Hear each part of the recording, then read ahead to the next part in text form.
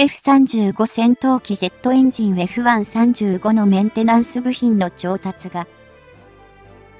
遅延していることが明らかになり、アメリカでは現在対策を講じている。今回 F35 戦闘機の不安要素を調べてみました。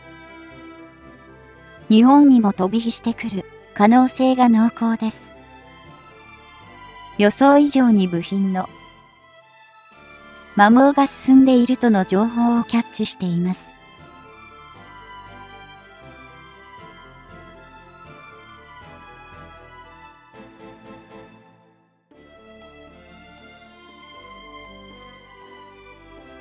日本でもおよそ半世紀にも及んだ F4 ファントム戦闘機の代替機としてアメリカロッキード・マーチン社製の F35 ライトニング2戦闘機の調達が航空自衛隊において進められている。現状では、いわゆる空軍向けの通常滑走路使用の A 型が102機、短距離離陸、垂直着陸が可能で、航空母艦化改装を施される護衛艦。出雲、加賀、用の B 型が42機の調達数だと公表されている。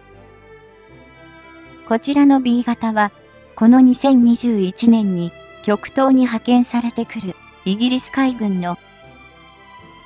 航空母艦クイーン・エリザベスの艦載機としてもよく知られているが、アメリカ海軍では強襲揚陸艦用に配備が進められている。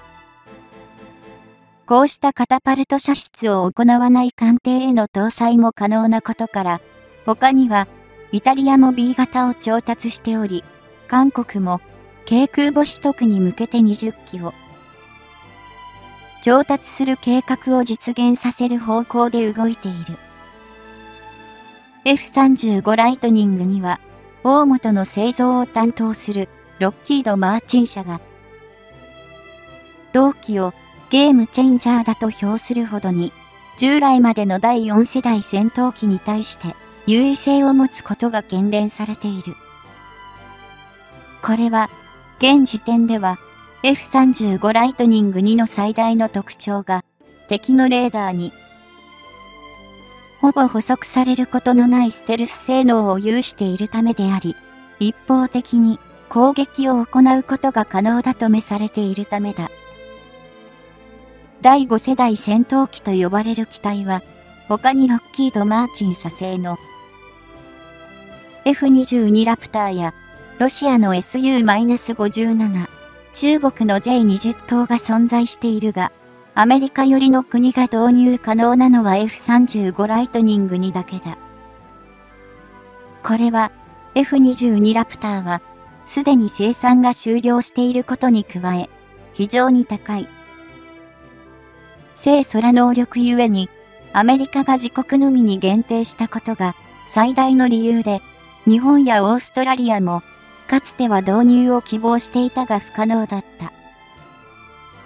F35 ライトニングには、この F22 ラプターよりも遅く登場しただけあって、搭載するレーダーセンサ等の電子機器類の性能は大幅に向上しており、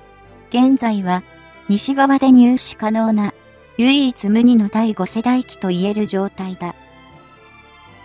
ロシアの SU-57 は2028年までに量産機が78機程度の製造。中国の J20 も2019年末時点で約50機ほどの生産数であり、かつ、こちらは自前のエンジンの開発が難航しており、こそまで脅威ではないとも言われている。特に、第5世代戦闘機の最大の特徴である、レーダー反射の断面積で、F35 ライトニングには、群を抜いた性能を有しており、レーダー上では、ゴルフボール台以下であり、ロシアや中国のそれを圧倒しているという。加えて、このレーダー反射の断面積は、F35 ライトニング2が全方位から、これを最小限に止めているのに比して、SU-57 や J20 は、進行方向に向けた。限定的な性能であるともめされており、その優位性は明らかだ。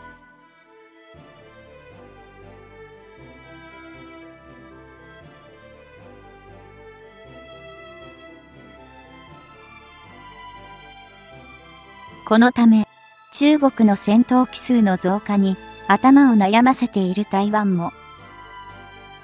F35 ライトニング 2A 型の調達を最優先に主張しているとされているが、台湾向けに最新型兵器を輸出しない施策をアメリカは継続している。故に、F16 としては、最新型の V 型、ブロック7072を66機、台湾へ輸出することを前トランプ政権は承認したが、台湾空軍としては F35 ライトニング2が、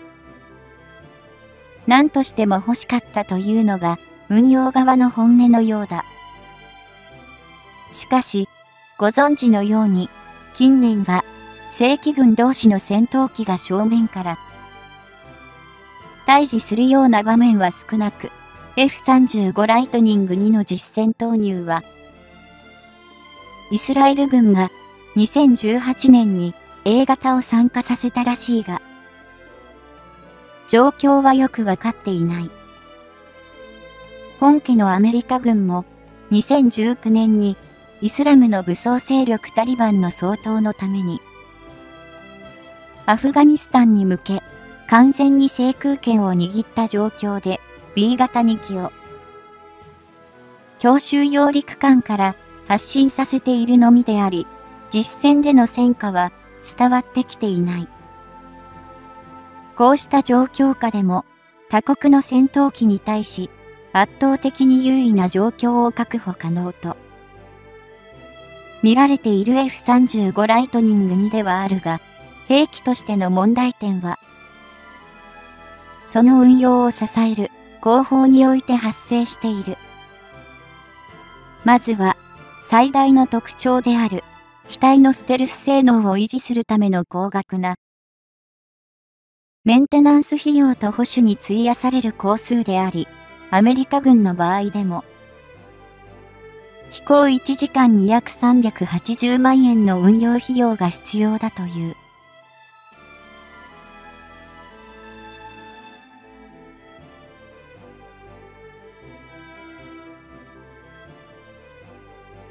さらに、複数の開発参加国にまたがる保守、交換に必要な部品の安定供給の問題があり、特に搭載する強力なエンジン、F135 の想定を超過する損耗の発生は、整備計画に重大な遅延と混乱を生じさせている模様だ。こうした機体の維持管理用に当初導入されていた管理システムである ALIS は、深刻な不具合から ODIN に切り替えられたものの、こちらも順調とは言えず、アメリカ軍の要求を満たすレベルには達していないという。アメリカ空軍は、最大で A 型を1700機以上も調達する計画を進めていたが、こうした問題は、代替の対象である F16 からのスムーズな切り替えに支障をきたしており、別の機体の調達すら指摘され始めている。事態を重く見たアメリカ議会の戦術航空陸上部隊小委員会では、こうした問題がクリアされ、計画通りの運用コストに着地しない限り、別の戦闘機の採用も検討すべきとの見解を示しており、今後の動向が注目される。